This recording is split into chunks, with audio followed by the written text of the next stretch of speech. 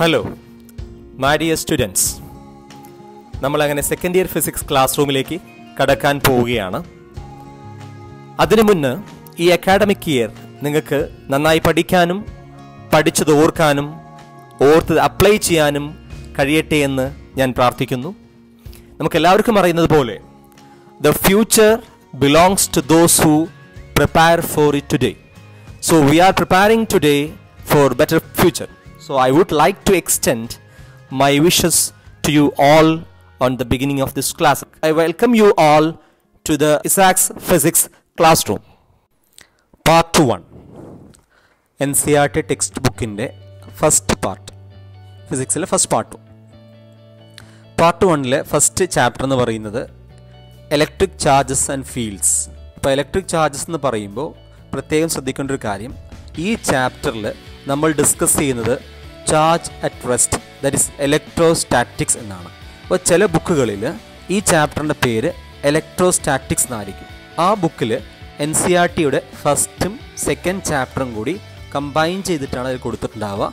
N C R T text ബുക്കിൽ first chapter electric charge and ഫീൽഡാണ് field എന്ന് വെച്ച് കഴിഞ്ഞാൽ ഇലക്ട്രിക് ഫീൽഡ് അതായത് ഒരു ബാർ മാഗ്നറ്റിന് ചുറ്റും ഉണ്ടാകുന്ന ഫീൽഡിനെ നമ്മൾ മാഗ്നറ്റിക് ഫീൽഡ് വിളിക്കുന്നത് പോലെ ഒരു ഇത് ചാർജ് ദറ്റ് ഇസ് റെസ്റ്റ് ഇരിക്കുന്ന ചാർജിന് ചുറ്റും ഉണ്ടാകുന്ന field that is electric field അപ്പോൾ ഈ ചാപ്റ്ററിൽ നമ്മൾ ഡിസ്കസ് ചെയ്യുന്ന charge at rest and also field ഇനി ചാർജുകൾ മൂവ് ചെയ്യണമെങ്കിൽ പൊട്ടൻഷ്യൽ ഡിഫറൻസ് ആവശ്യമാണ്. അപ്പോൾ പൊട്ടൻഷ്യൽ എന്നൊരു വാക്ക് വരികയാണ്. അപ്പോൾ സെക്കൻഡ് ചാപ്റ്റർ എന്ന് വരുന്നത് ഇലക്ട്രോസ്റ്റാറ്റിക് പൊട്ടൻഷ്യൽ ആൻഡ് കപ്പാസിറ്റൻസ് അപ്പോൾ ഫീൽഡും പൊട്ടൻഷ്യൽ എന്ന് പറയുന്ന രണ്ട് എന്റിറ്റിയാണ് ഫീൽഡ് എന്ന് പറയുന്നത് വെക്ടർ ആണ്. That is electric field is a vector and electrostatic potential is a scalar quantity ഈ രണ്ട് എന്റിറ്റി വെച്ചാണ് നമ്മൾ ചാർജുകളെ പഠിക്കുന്നത്.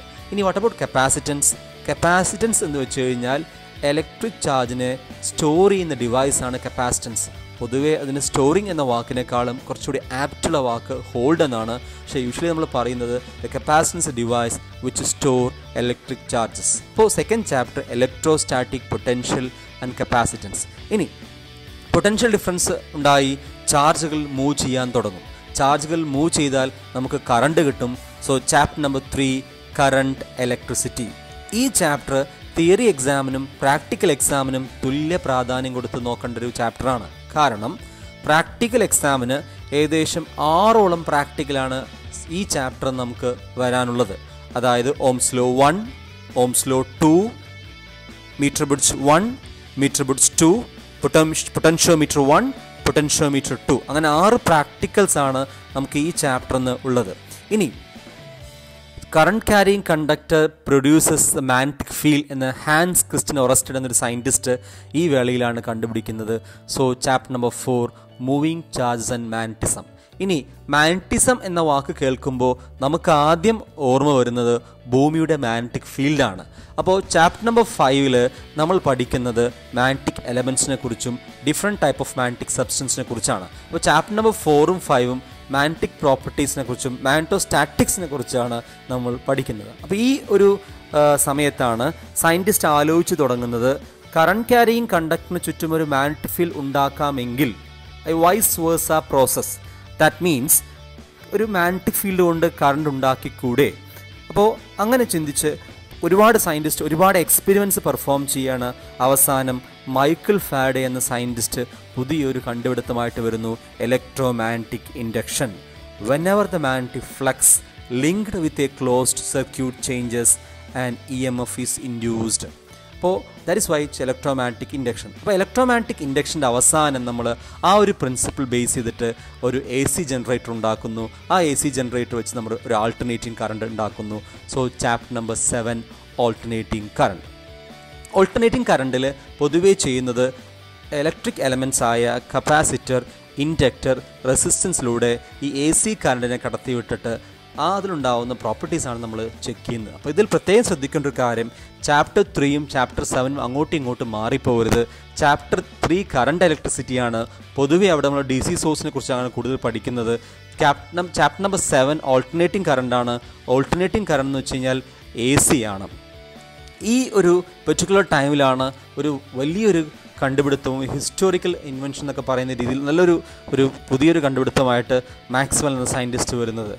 Accelerating charge or oscillating charge produces an electromagnetic wave so chapter number eight electromagnetic waves വളരെ ചെറിയൊരു ചാപ്റ്ററാണ് ഈ ചാപ്റ്ററിൽ ഇലക്ട്രോമാഗ്നറ്റിക് വേവ്സിന്റെ പ്രോപ്പർട്ടീസെക്കുറിച്ചും മാക്സ്വെൽസ് ഇക്വേഷനെക്കുറിച്ചും ഡിസ്പ്ലേസ്മെന്റ് കറണ്ടിനെക്കുറിച്ചുമാണ് നമ്മൾ ഈ ചാപ്റ്ററിൽ പഠിക്കുന്നത്. Part two.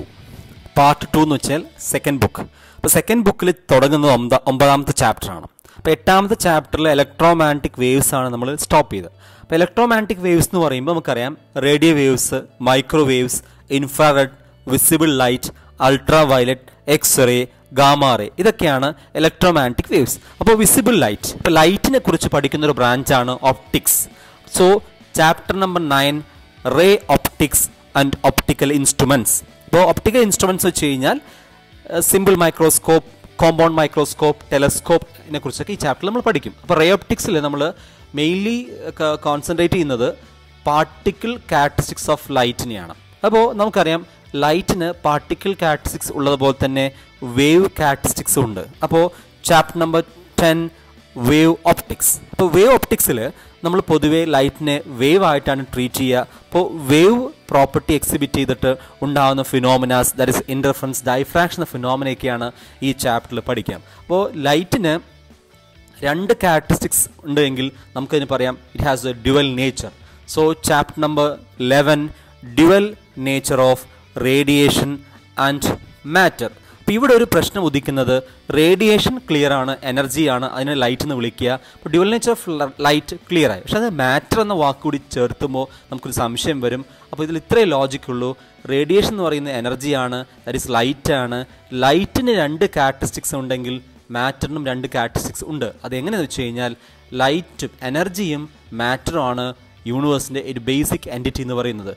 Nature love symmetry അപ്പോൾ എനർജിക്ക് രണ്ട് കാറ്റസ്റ്റിക്സ് ഉണ്ടെങ്കിൽ മാറ്ററിനും രണ്ട് കാറ്റസ്റ്റിക്സ് ഉണ്ട്. അപ്പോൾ ഈ ചാപ്റ്ററിൽ നമ്മൾ ഡിസ്കസ് ചെയ്യുന്നത് പാർട്ടിക്കിൾ കാറ്റസ്റ്റിക്സ് ഓഫ് ലൈറ്റും വേവ് കാറ്റസ്റ്റിക്സ് ഓഫ് മാറ്ററുമാണ് അപ്പോൾ മാറ്ററിന്റെ ഏറ്റവും ബേസിക് എന്റിറ്റി എന്ന് പറയുന്നത് നമുക്കറിയാം ആറ്റമാണ് so chapter number twelve atoms അപ്പോൾ ആറ്റത്തിൽ ബോർ ആറ്റം മോഡലും പിന്നെ ഹൈഡ്രജൻ സ്പെക്ട്രോ ഒക്കെ നമ്മൾ ഡിസ്കസ് ചെയ്യും. അപ്പോൾ അതുപോലെ തന്നെ ആറ്റത്തിലുള്ള ആറ്റത്തിലുള്ളതാണ് nucleus. So chapter number thirteen nuclei. ഇനി ആറ്റത്തിന് ന്യൂക്ലിയൈ മാറ്റി നിർത്തി കഴിഞ്ഞാൽ ബാക്കി ആറ്റത്തിലുള്ളത് ഇലക്ട്രോൺസ് ആണ്. അപ്പോൾ ഇലക്ട്രോൺസിനെ കൺട്രോൾ ചെയ്ത് വർക്ക് ചെയ്യുന്ന ഡിവൈസസ് ആണ് സെമി കണ്ടക്ടേഴ്സ് സോ അടുത്ത chapter semiconductor electronics materials devices and simple circuits അപ്പോൾ ഇതിൽ വളരെ വെയിറ്റേജ് കൂടിയൊരു ചാപ്റ്ററാണ് വളരെ എളുപ്പ ചാപ്റ്ററാണ് നമ്മൾ ഡയോഡിനെ കുറിച്ചും ട്രാൻസിസ്റ്റേഴ്സിനെ കുറിച്ചൊക്കെ ഇതിൽ ഡിസ്കസ് ചെയ്യും. ആംപ്ലിഫയർ ഓസിലേറ്റേഴ്സിന് സിമ്പിൾ സർക്യൂട്ട്സിനെ കുറിച്ച് നമ്മൾ ഈ ചാപ്റ്ററിൽ എന്ത് ചെയ്യും? ഡിസ്കസ് ചെയ്യും. അതുപോലെ തന്നെ ലോജിക് ഗേറ്റ്സിനെ കുറിച്ച് നമ്മൾ ഈ ഡിസ്കസ് ചെയ്യും. അപ്പോൾ സിമ്പിൾ സർക്യൂട്ട്സിൽ നമ്മൾ പിന്നെ വരുന്നത് കമ്മ്യൂണിക്കേഷൻ സിസ്റ്റം അപ്പോൾ അതിൽ modulations demodulation and transmission of സിഗ്നൽസിനെ കുറിച്ചൊക്കെയാണ് കമ്മ്യൂണിക്കേഷൻ സിസ്റ്റത്തിൽ എന്ത് ചെയ്യുക ഡിസ്കസ് ചെയ്യുക. അപ്പോൾ ആകെ മൊത്തം നോക്കുകയാണെങ്കിൽ മൊത്തം പതിനഞ്ച് ചാപ്റ്റേഴ്സാണ് ഉള്ളത് ഒന്നാമത്തെ ഇലക്ട്രോസ്റ്റാറ്റിക്സ് തുടങ്ങി പതിനഞ്ചാമത്തെ കമ്മ്യൂണിക്കേഷൻ സിസ്റ്റം വരെ ഒരു ത്രെഡിലാണ് ഇങ്ങനെ കോർത്തു വെച്ചിരിക്കുകയാണ്. ഓരോ ചാപ്റ്റേഴ്സും ഒന്നിൽ ഒന്ന് കണക്റ്റീവാണ് അപ്പോൾ ഫസ്റ്റ് ചാപ്റ്റർ വൃത്തിയായി പഠിച്ചാലേ സെക്കൻഡ് ചാപ്റ്ററിലേക്ക് വരാൻ കഴിയുള്ളൂ. ഇപ്പോൾ ഒരു കണ്ടിന്യൂഷനാണ് എല്ലാ ചാപ്റ്റേഴ്സിലും ഇപ്പോൾ ഫസ്റ്റ് ഇയർ പോലെയല്ല സെക്കൻഡ് എന്റയർലി ഡിഫറെന്റ് ആണ്. ഡിഫറെന്റ് ഡിഫറെന്റ് ടോപ്പിക്സിനാണ് നമ്മൾ പഠിച്ചു പോകുന്നത്. അപ്പോൾ ഓരോ ചാപ്റ്റേഴ്സും ഓരോ പ്രീവിയസ് ചാപ്റ്റേഴ്സായിട്ട് വ്യക്തമായൊരു കണക്ഷൻസ് ഉണ്ട്. ഫസ്റ്റ് ചാപ്റ്ററിൽ ഉപയോഗിക്കുന്ന ഇക്വേഷൻ നമ്മൾ തേർട്ടീൻത്ത് ഫോർട്ടീൻത്തിലെ ചാപ്റ്ററിലൊക്കെ നമ്മൾ ഉപയോഗിക്കും. അപ്പോൾ ഓരോ ചാപ്റ്റേഴ്സും അതിന്റേതായ ഇമ്പോർട്ടൻസ് നോക്കി പഠിക്കുക തന്നെ വേണം.